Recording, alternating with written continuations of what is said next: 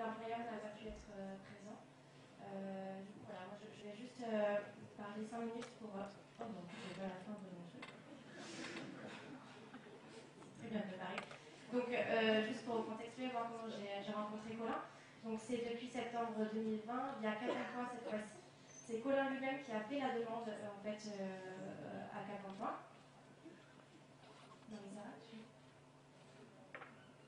ah, Parce que Marie-Sarah lui en a parlé. Je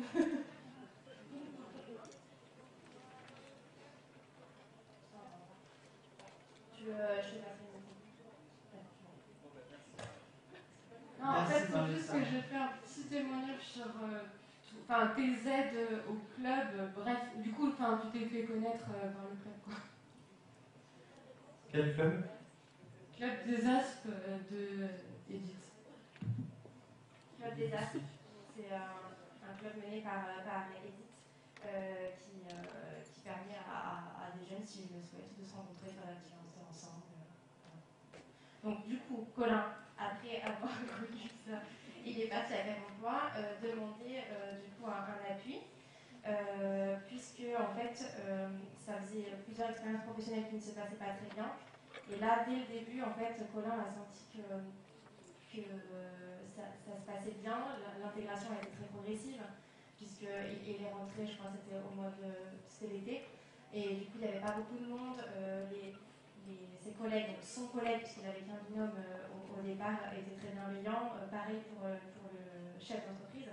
Et Colin a dit non, cette fois-ci, j'ai pas envie de passer à côté, j'ai envie que ça se passe bien. Et pour que ça se passe bien, il me faut un petit coup de pouce. c'est à peu près comme ça que ça s'est, passé. Donc, euh, pour le coup, Colin a, moi je trouve en tout cas une très bonne expertise de, son handicap. Il sait parfaitement où se situent ses difficultés. ensemble, on se voit seulement une fois par mois, je dirais. S'il y a des périodes un peu critiques, il me passe un coup de téléphone et, on en débriefe ensemble.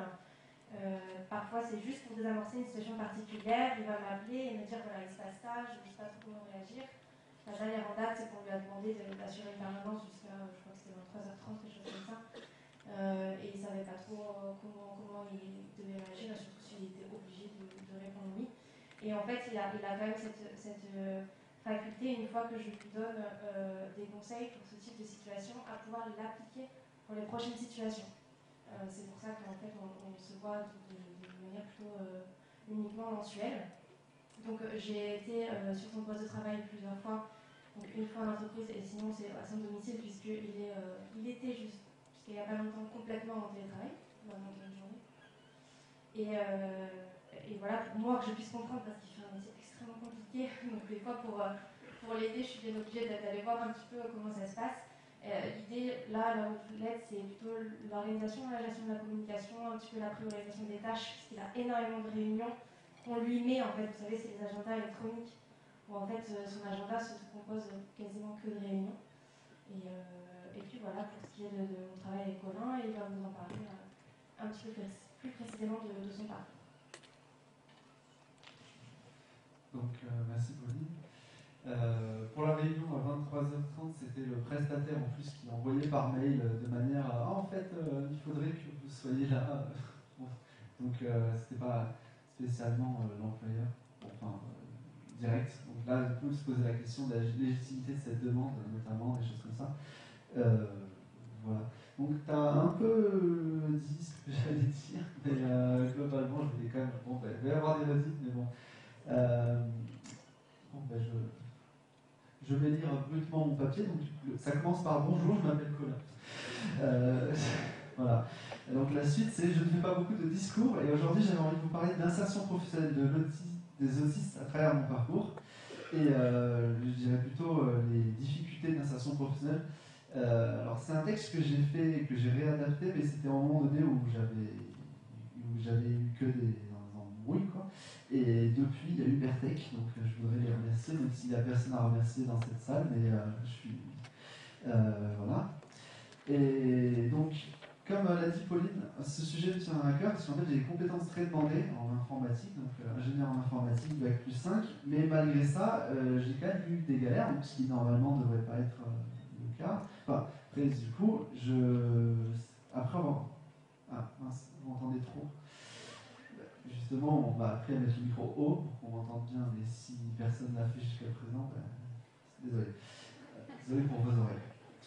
Euh, donc, euh, voilà. Donc, je, voulais dire que j'ai voulu, lors de premiers emplois, m'adapter et euh, pas être en avant mon handicap, donc enfin de, vraiment m'adapter, de faire les efforts, de me dire allez je m'acharne. Donc j'ai vu aussi que j'étais pas le seul à vouloir m'acharner, à me dire allez je vais y arriver, et que d'un moment ben, ça passe pas. mais du coup voilà, ça a créé des décalages. Et, et le comble, c'est que même les moments où j'ai communiqué là-dessus, je communiquais là-dessus ben, pas forcément de la bonne manière et pas forcément aux bonnes personnes. Et tout simplement, ben, du coup, j'ai eu euh, soit des refus, soit des gens qui ne voulaient pas s'adapter, malgré les avantages. Donc il y a plein de. Bon, il y a des enfin, bon, je ne l'ai pas écrit, donc je ne vais pas embrouiller là-dessus. Euh, voilà, donc je voulais vous présenter selon moi les différents aspects du monde de l'entreprise qui nous déstabilisent et nous empêchent de travailler productivement. Euh, donc voilà, ça c'est un peu négatif à l'époque, mais bon, il y a, y, a, aussi des solutions, il que j'arrive à tourner la page avec l'humain. Euh, donc pourquoi euh, Bon, globalement, c'est un handicap, mais c'est quand même un handicap qui est. Le but c'est de contourner. Et, donc je me disais, bah, encore une fois, je ne dis pas mon texte. Bon, je vais dire. Ils ont des capacités similaires à celles des, euh, neuroatypiques ou normaux-pensants, et même, euh, mais notamment supérieures dans certains domaines. Et donc, c'est dans ces domaines-là qu'il faut mettre en avant. Et, euh, mais voilà, mais donc du coup, comme on en parle, a beaucoup de difficultés dans les choses qui paraissent évidentes. Donc vraiment, il y a toujours la difficulté de dire, mais comment ça, tu n'y arrives pas? Mais alors que, Ou t'es bloqué, mais ben non, oui, effectivement, désolé, je suis bloqué. Euh, voilà, donc notamment dans les habiletés sociales, euh, des blocages inattendus liés au stress, des fois des choses, euh, je sais pas, faire des. Enfin, pas vraiment d'exemple là, mais. donc c'est contextuel, par exemple, en début de journée on y arrive, à la fin de journée on n'y arrive pas. donc ça peut amener des incompréhensions et, donc il faut trouver des personnes compréhensives qui peuvent comprendre ces moments-là et ne pas être dérouté et ne pas générer de rejet. Euh, ensuite, voilà, je voulais euh, rapidement parler de la triade autistique.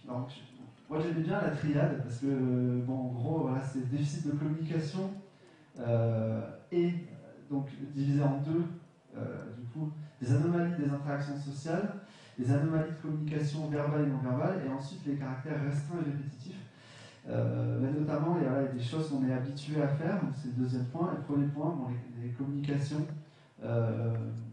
c'est plutôt ça que je voulais mettre en avant parce qu'on a des cours d'habité sociale, notamment à MISA, qui m'ont bien aidé. notamment, on m'avait proposé au début comment aller à un anniversaire. Bon, ben, c'est bien, mais on m'a plus tard proposé comment se comporter en entreprise, donc c'était mieux. Euh, voilà. Euh,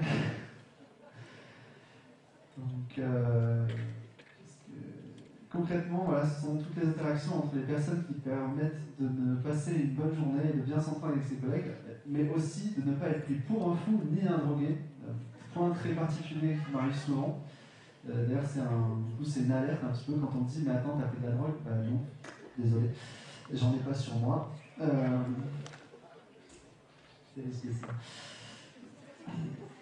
Euh, donc, alors, sans transition.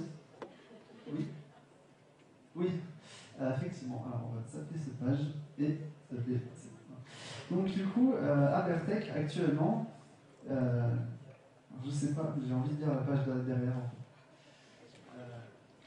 je vais vous présenter un petit peu euh, du coup ce que je fais à Abertech et après j'expliquerai ben, en fait ce que Pauline a dit que j'étais bien intégré. donc ça fait déjà plus d'un an que j'ai intégré la société Abertech. J'apprécie particulièrement leur ouverture, leur convivialité qui y règne et également le fait que une bonne ambiance de travail, la bienveillance des collaborateurs euh, et, donc le projet euh, au sein de la Poste est assez polyvalent, donc euh, il est assez technique aussi, ce qui met en avant donc, mes compétences techniques. Alors sauf que maintenant du coup j'ai beaucoup de réunions et j'aime bien plutôt avoir des moments où moi je peux mettre en avant ce que, ce que techniquement je sais faire, mes, mes, idées pour résoudre des problèmes. C'est notamment, je travaille avec des robots, donc ça s'articule autour de robots sur les réseaux sociaux, des robots de configuration d'appels téléphoniques, euh, de centres d'appels téléphoniques, des vues en temps réel de l'état du système, donc global, la supervision en temps réel, donc à la fois du système et à la fois des opérateurs, des rapports sur l'état des systèmes, voilà, des, bon, alors je vais pas faire, voilà, et globalement, dès qu'il y a un truc qui marche pas, c'est ah Colin vient, et hop, je, je répare des trucs. voilà. Donc, oui, euh, entretien. Alors, je n'ai pas marqué là, mais par contre, globalement, ça reprend un peu ce que Pauline disait, mais euh, d'abord, Vertex, j'ai voulu, euh, comme je disais tout à l'heure aussi, euh, m'adapter en cachant la bizarrerie. Je me suis rendu compte qu'à à long terme, c'était pas fiable. En plus, j'avais un projet un peu bizarre. à un moment donné, je voulais travailler dans n'importe quelle entreprise, réparateur de vélo, déménageur, informaticien. Bon, heureusement que voilà, j'ai choisi la bonne voie en tout cas. Euh, même après mon bac plus 5, hein, j'étais dans une période un peu bizarre où il fallait absolument que je travaille. Euh, et donc, en fait, je me suis rendu compte que Vertex était assez viable et donc j'ai voulu y aller. Donc, du coup, j'ai voulu aussi en parler à mon chef, Jackie. Et il a été assez ouvert, assez à l'écoute. Il m'a permis de parler plus librement. Et, euh, et donc, il m'a intégré à la fois. Ce qui a été bien, c'est que D'abord, quand je suis arrivé avec le Covid et tout, le télétravail, on n'était que deux dans le bureau. Donc j'ai vu un collègue, puis un deuxième qui est venu un jour dans la semaine. Et progressivement, en fait, j'ai vu les collègues de manière assez progressive et ça, ça a fait que j'ai pas eu tout d'un coup à dire Ah, lui s'appelle un, lui s'appelle un. Du coup, je me rappelle le nom de un collègue et il y a deux collègues qui sont arrivés le même jour. Du coup, je les confonds maintenant, mais bon, je vais essayer de. Voilà ça fait des blagues euh, dans les soirées où je dis attends lui c'est euh, tel non voilà et après il s'amuse à dire à échanger de place voilà mais à part ça du coup bon encore une fois en soirée on boit donc ça peut paraître normal au final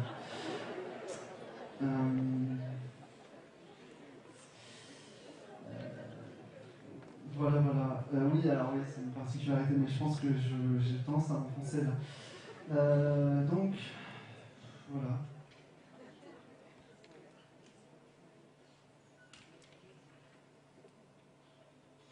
Oui, en fait, il y a eu un changement dernièrement, c'est que je travaille à la poste au niveau de, sanitaire et tout, les, prestataires, je travaille pour la poste, on n'a pas pu rentrer, donc c'est que dernièrement, après presque un an et demi de projet, que j'ai enfin rencontré mes collègues euh, et là, il y a eu. Voilà, comme on, se voyait souvent, il y a eu quelqu'un qui disait Ah, mais attends, t'es drogué, tout réellement.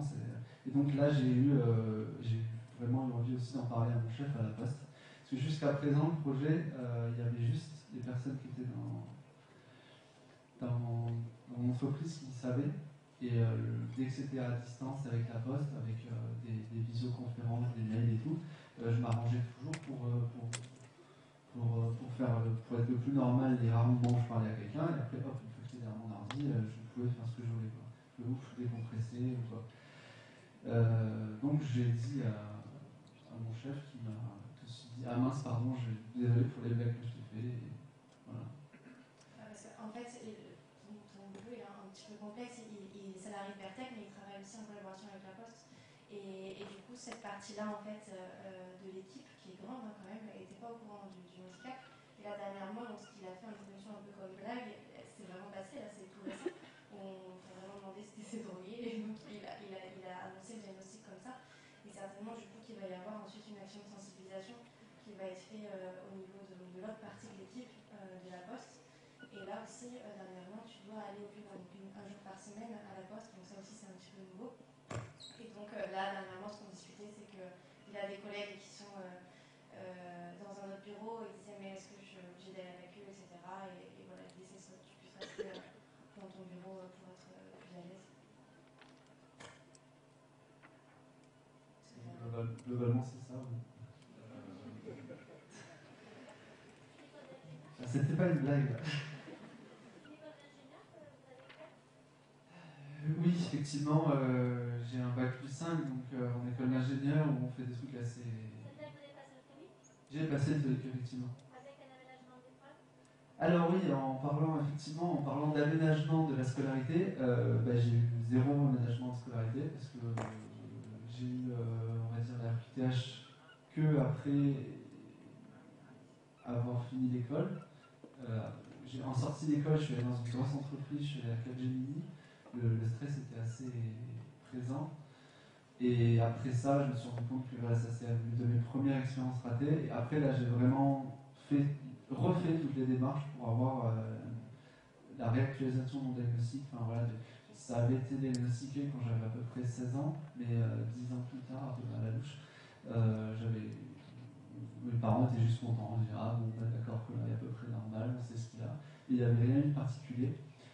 Et donc, euh, pas d'aménagement du tout dans, l'école, enfin, pas officiel en tout cas, parce que heureusement, du coup, comme je disais tout à l'heure, j'ai rencontré des gens, enfin, j'ai pas dit ça tout à l'heure, mais ce qui a été une chance dans mon parcours, c'est que j'ai rencontré des gens compréhensifs qui, malgré le fait qu'il n'y ait pas de, loi qui dise voilà, cette personne il faut l'inclure ou quoi, ont fait des efforts pour m'inclure, pour, euh, s'adapter euh, et donc euh, me permettre de réussir toutes les épreuves.